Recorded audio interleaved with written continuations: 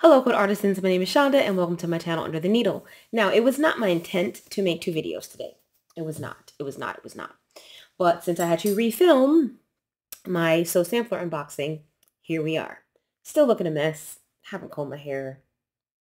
What else? So uh, today I want to talk about the Book Nook pattern. So Book Nook was a new pattern release by Pen and Paper Patterns. Say that 10 times fast. So Pen and Paper Patterns wrote Sparrows, um, that cute little Sparrows quilt pattern um, that I know people have seen and love. Um, that I, I did one block of a couple of years ago. Um, and they also did a pattern called Dog Pile last year that I really liked and thought was super cute. So I had purchased that pattern and I did a sew along um, with pen and paper pattern. Well, not, you know, they don't know me. I sewed along, right? I sewed along uh, last year with Dogpile. And then this year, um, in January, they released a pattern called Book Nook. And I thought it was super cute. Just so cute. Look at that. And so they released the sew along. It was going to be six weeks. Six weeks. Um, I, how did this go? Week six, we throw we, we do the rows. Week five was a catch-up week. Week four, we made. Okay, so yeah, so week one, we made half of these uh these blocks here. Let's see if I can show you better.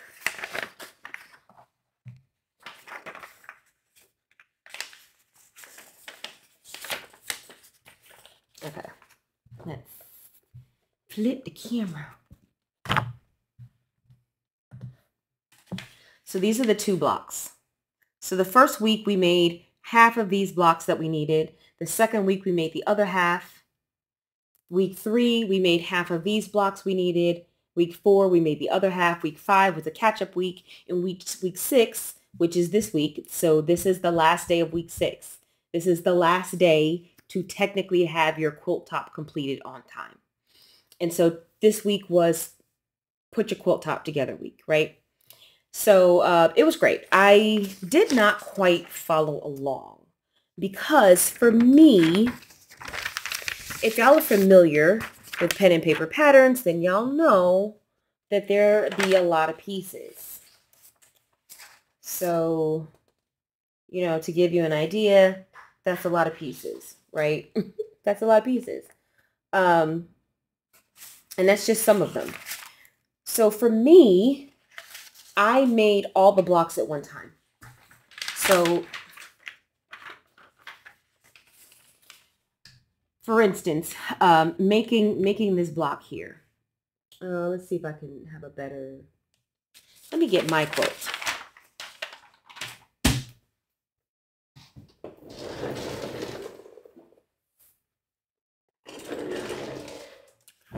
Me just show you the quilt and then we can talk about it.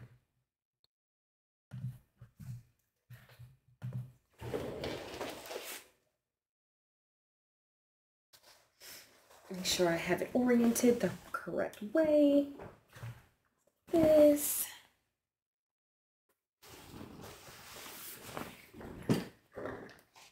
So this is our quilt top.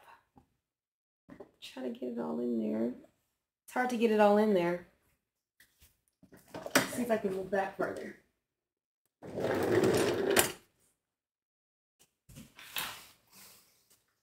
It's a little better.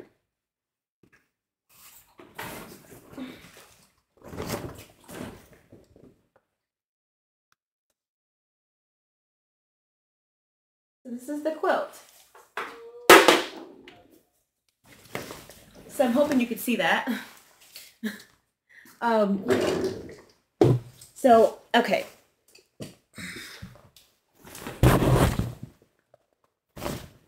Let's, let's dissect this quilt a little bit. Okay. So, looking at this block, okay, there's a piece here. So let's get closer.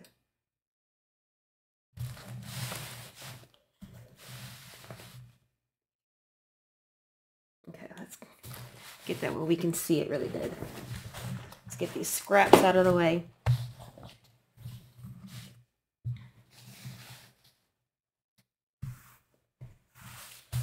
Okay. It's the whole the whole block still isn't in there. Can't get the whole block in there. Let's raise up a little bit.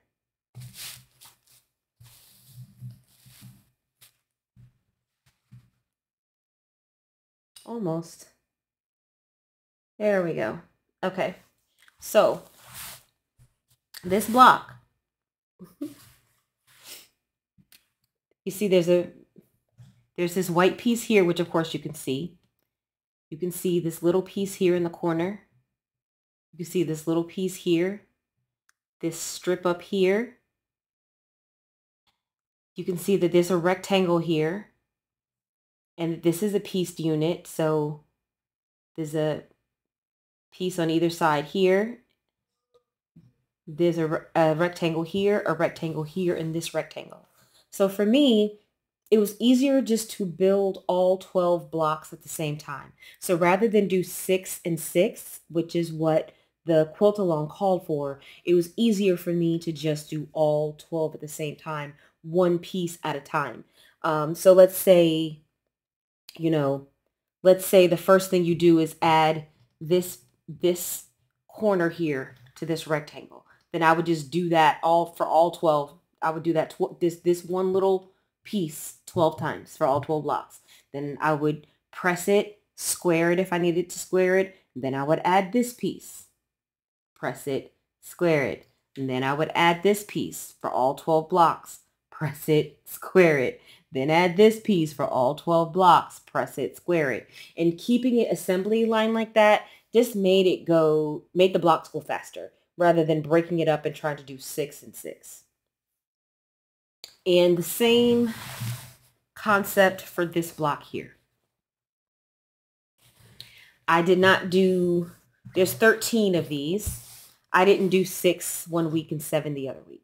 I just, it was just easier for me to chain piece all the blocks. So I, I built these first, right? So I would just take these white pieces and then and there's 13 of these blocks and there's four in each block. So 13 times four. And I would just add this one little snowballed corner on all of those. What's 13 times four? I don't know offhand. Let's see. What is it? 13 times four. So 52 times. So 52 times I just added one little square snowballed one little corner 52 times. And then I snowed the next, snowballed the next corner 52 times. And then I added the next a strip. I mean, um, yeah, 52 times. And then added the next strip 52 times. And that's what I did um, until I got them all done. That was just easier for me. It was just more productive for me. But that's really it. This, it's not, these are not difficult blocks. This it was not difficult. It was um, it went together really easily. The only thing I would say is that I did make sure that I did starch my fabric really well. Um, just because I was dealing with one and a half inch pieces. And when I'm dealing with one and a half inch pieces, I just want to watch it stretch. Um, and everything went together really well. Now there's a couple of ways um, to do this pattern. Um, the original pattern designer did it in solids. She does most of her quilts in solids. She's a lot of people love solids. I'm not one of them. But um, her quilt is all done in solids. And so she gives you instructions on how to make the quilt using solids. So if you did solids, you would only have four colors for these books.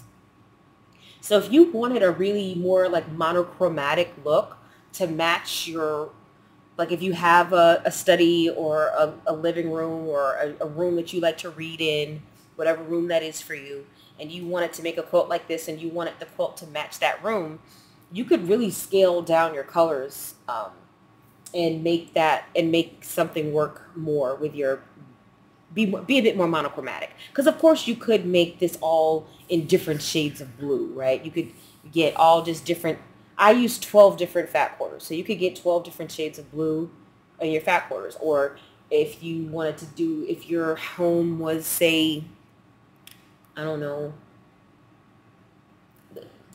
Let's just let's just say blue and green for argument's sake. You could have six different shades of blue and six different shades of green and have it all in this quilt or something like that. So a lot of different options. I just did not want to work with solids. So I used 12 fat quarters instead of four um, three quarter yard cuts. So you could use four colors, each three quarters of a yard, or you could choose to use 12 fat quarters. I chose to use 12 fat quarters because I just thought that would be kind of nice. I like color and variety. I chose to go with this grunge. I don't remember what this grunge is called because I already owned it. This is something that I, I didn't buy this grunge for this project. I already had it, so I don't remember which grunge this was. But I thought that this gray would just play, um, you know, really nice, be a really nice neutral with all of these um, colors.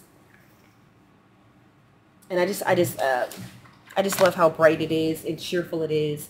And I like that the background doesn't take away from the quilt. Now, let's see, do I have any more tips about this pattern? So I know I'm going to do a pieced back. Um, this is the backing that I bought. I did buy this. It was, I think I had it in my last haul. It was like $6.80 a yard. So very economical here. I bought three yards and I'm going to be using my scraps to uh, do some type of pieced back to put with this. And this is one of the prints in the line. So this print is in my quilt. And so I do have some you know, quite a bit of scraps left over. Um, so these are some small pieces here. Um, I did have, um, you know, some some some strip. I did. I had some miscuts, you know, where I, I didn't cut properly because I wasn't paying attention, and um, that's why you know my scraps are some different shaped. And then also, um, when you are using the fat quarters because it's an odd number of blocks. Like it doesn't divide evenly. You have um, 52, no, it was 13 blocks. You have 13 blocks, but you have 12 fat quarters. So, you know, some you get, you use a little bit, some fat quarters get used a little bit more than others. Um, but yeah, so pretty, pretty good. I have not yet figured out how I'm going to cut this and how I'm going to piece the back. I haven't figured that out yet. Um, so I'm working on that. Working on that. Um, see if I have any. I do recommend starching because you are working with one and a half inch piecing. And like I said, I do recommend the chain piecing like I talked about. That was very helpful to me to get this done because you figured we had six weeks to do this, right? Six weeks. Now I did my, and that's just the sewing because so the cutting is already supposed to be done so when you start week one, your cutting is already done. You're supposed to be already done cutting. So I did all the sewing, got this together in six weeks. And in that time, I completely cut out, I, cu- I completely cut out another quilt. Um, sorry, not two quilts. In, the, in that same six, six weeks, I completely cut out two other quilts. Completely cut out, ready to sew. Uh, one of those quilts, I've sewn some of the blocks and then I have another quilt that is partially cut. I've done the rough cutting. Now I need to do the subcuts. So in addition to this quilt, I did all of that as well and still spent time with my family. So this was, um, to me, this block was much faster than the Sparrows block. That Sparrows block took some time to put together. But then again, I was also putting together one block. So for that Sparrows quilt, I would definitely say if you're going to do it, somebody was asking me about it in the comments, that if you're going to do that quilt, definitely chain piece every block. Let's see. Any other comments or suggestions about this? Mm. Okay, so she does indicate um, like pressing. And one thing I like about pen and paper patterns is that they don't insist that everything is pressed open. Usually when they tell you to press something open, it's because it's going to make your life easier. Um, but it's not like, you know, one of those ones where it's like, press all seams open. And then you look at the quilt and you're like, why am I doing that? Like there's not even any matching seams. So why am I pressing all these open? So you can see here on these book blocks, all of these seams are pressed open, right? Because there's just, there's just too much going on. But when you snowball these corners here, these are just, these seams are pressed to one side. So not everything is pressed open, which is great. Um, you can see the sashing is pressed. Oops, I just knocked over my mic. Um, the sashing is pressed to the sashing. Um, so that's another thing that made it quick is that not everything is pressed open. Let's see, any other tips or tricks about this quilt? No, that's really it. I mean, it really went together easily. I did do some squaring up along the way, right? So, because I, I needed to know where I was. So like, um, when I would put this little piece together, right, I would go ahead and square. I know what that finished size is supposed to be. So I would just go ahead and square that up, right? Um, when I would build these units here, these units, these like long units here, and these here, so after I would build that unit, I would go ahead and get my ruler out and trim it up and square it up and, and get it nice and even. So I took some time. I took some time with this quilt and still got it done in the six weeks. Um, yeah, I like this pattern. I really do. Um, you guys can check out the uh, Book Nook pattern by Pen and Paper Patterns. Um, when I get this puppy quilted, when I get the back piece and I get it quilted, I guess um, I'll show you guys the finished project. Um, but right now, I'm just happy to have the whole thing pieced together. Like I literally just got it done like two hours ago. No, maybe a little more than that. About, it was about, it was about two o'clock, but two o'clock and now it's almost six. So yeah, really, really pleased. I got it posted on Instagram. Super excited. So now, um, now to figure out what to do for the back. I mean, I'm not trying to do that today because I don't want to do all that thinking today, but um, might tonight, uh, well, probably not tonight, I have plans, but maybe tomorrow, maybe draw some pictures, do some math, figure out how exactly I want to put this back together. But right now, I'm just celebrating that the front is done. So um, that's it for me. Let me guys, let, let me know what you guys think. Let me know if you've purchased this pattern, if you've tried it, if you were afraid to try it. Um, you know, it seems a little intimidating when you look at it, but it really wasn't. Um, and they gave you labels as well. So of course I don't have the sheet of labels because I used them and cut them up and used them for my quilt. Um, here's one on the floor over here. So they give you labels for all of the pieces, which was nice because I was able to completely cut everything out and label everything nicely. So I, I did not lose any pieces. I did not lose track of any pieces. Really, really appreciate that. And there is a bonus block in here. Um, show you guys the bonus block. So this is the bonus block here. It's an open book. Jesus, I did not, I did not make that. I did not make that block. Let's see if I can show it to you close up.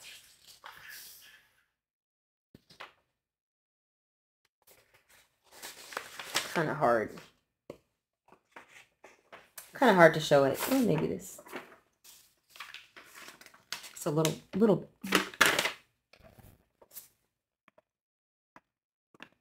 So this, this, this right here. So I haven't decided if I'm going to make one of those yet and piece it into the back. It's a consideration. It's something I'm thinking about. I'm thinking about if I want to do some type of piece back where I do one of those blocks. But that's going to be part of the math I have to figure out. So that's a different day project. But for now, uh, that's it for me. And I'll see you guys next video.